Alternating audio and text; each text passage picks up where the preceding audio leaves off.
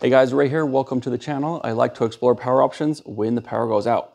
So I've had this power system and battery bank running my main house electrical panel for the last two months for May and June. So I'm gonna tell you what I think of this unit after those two months. We're gonna compare last year's power bill for those two months to this year's power bill for those two months. We are gonna go through the total cost savings that it's given me, and we're gonna calculate the rough payoff time it's gonna take me to uh, pay for this system I have here. So there are some things I'm gonna change, but hopefully this video will help you decide if this system is right for your type of house. Maybe you wanna add some more batteries. Maybe you can add a, another one of these inverters to your system, or maybe you'll wanna like switch inverters altogether. But if you wanna have some fun, come along. So I'll just give you a quick summary of what appliances we have running in our house here. So this house is about 3,200 square feet. Now that includes a basement apartment we have downstairs. Upstairs, there's not a whole lot of large appliances, just your standard dishwasher, microwave. So the range and the clothes dryer, those are both on gas. So really the main large electrical appliance we have for upstairs is a three ton air conditioner that we have. So downstairs, we have a young couple living down there. They just have regular lights, TV, microwave, dishwasher.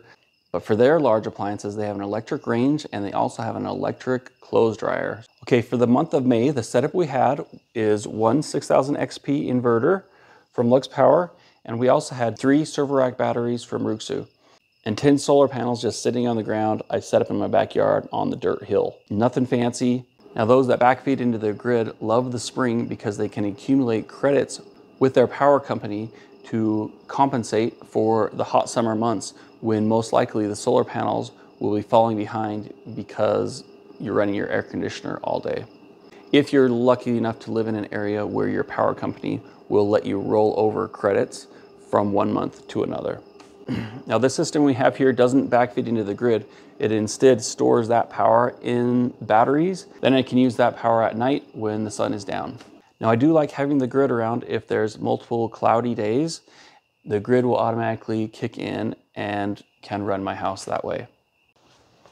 but let's jump right into the data for May. Okay, on the left is May of 2023. Now this is just data I downloaded from my power company. It's kind of nice because they have the average temperature of that day as well as uh, the power usage broken down by the day. So for the month of May, I spent a total of uh, 741 kilowatt hours and it's roughly 15 cents per kilowatt hour and times that by 15 cents that's a total of $111 so let's jump over here. For this year we're going to have solar panels out and running.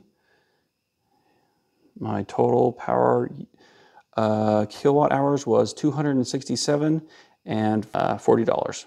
Now remember, I am using the grid when I have really heavy loads that kick on and also when I have multiple cloudy days.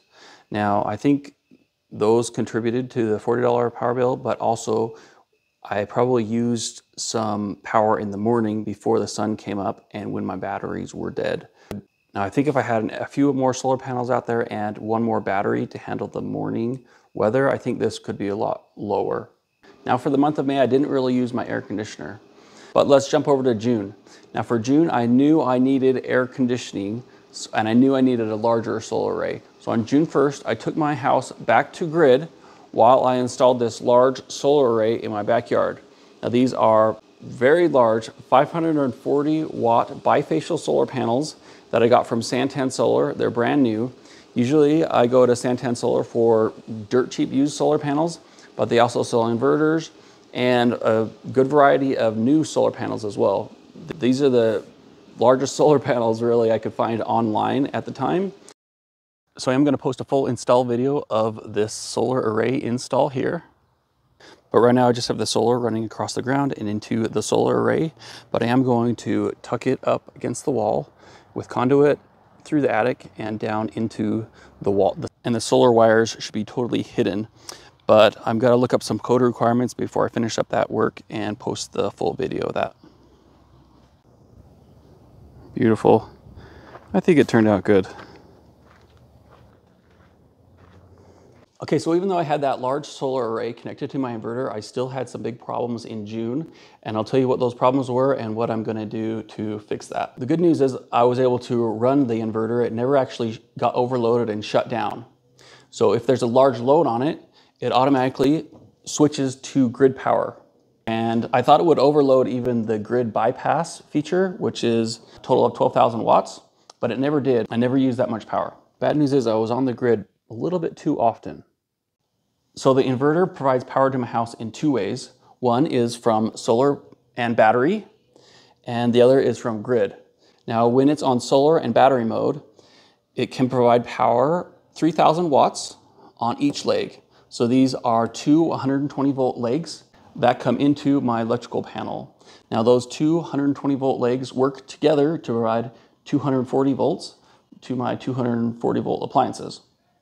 Now, if I'm away and I just have a couple lights on and my air conditioner is running, that'll pull about 4,000 watts. So it comes out to be about 2,000 watts on each leg. Pretty evenly. Now, suppose I turn on the microwave and now this leg will be overloaded and it will be 3,600 watts.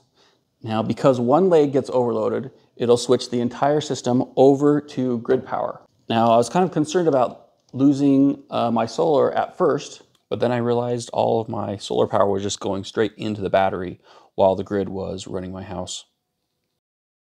So I'll just have more power going into my batteries that I can use later, which is fine. Now, when I had problems is I was going to grid too often.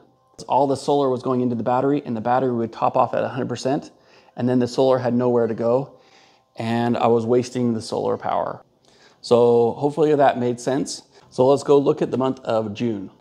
So we're gonna go through how much solar I was able to collect during this period of time and how much total savings that I have. But because I wasn't getting much solar during June, and also because of the extra hot June, I was running the air conditioner all the time.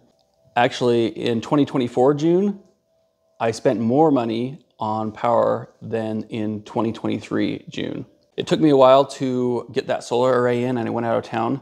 So these numbers are just from June uh, 13th when I was able to finally plug that array in to the end of the month. I still used 462 kilowatts of power and that came to $69.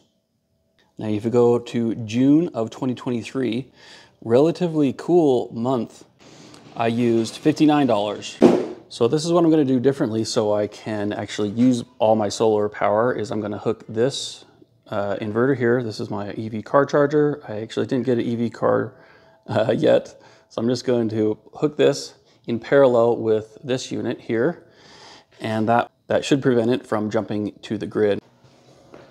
All right, so we're gonna run some really rough numbers regarding cost savings and how much uh, cost we're going to save throughout the year. So we'll do another analysis when we have a full year's worth of data, but this is just what we have very rough. So right now the system, my inverter has collected a total of 1,300 1,533 kilowatt hour comes out to be a total of $230 saved total. Now divide that by two, it comes out to be savings of $115 per month. Times that by 12, it's $1,388 per year. Now, if you watch the first video, I go into breakdown on costs. So it's kind of different depending on what type of solar racking you're gonna get and how many batteries you're gonna get. But let's just say your system is gonna cost you $10,000. So at $1,380 per year, after seven years, I'm gonna be pretty much paying off my system. Those numbers are about the same as if I were to invest my money in historic stock market returns. However, the stock market does have a little bit harder time keeping my lights on when the power goes out. Now that's not counting the 30% tax credits you can get.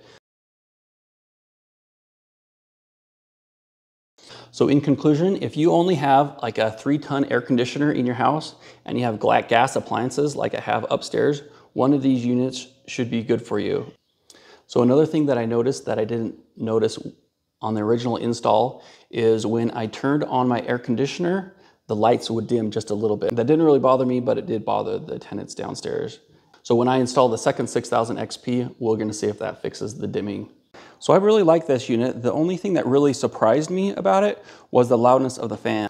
So supposedly the older competitors to this unit were really loud. So it can go from pretty much from dead quiet to really loud. So it seems to me like they should update some firmware in this to change the fan speed quicker depending on the temperature sensors inside. They do let you adjust the fan percentage in the app. I think default it was set at 70%. I've lowered that down to 40% and this is pretty good. They even let you adjust it down to, I think it was 10%, but it might be dangerous if you turn the fan down that much.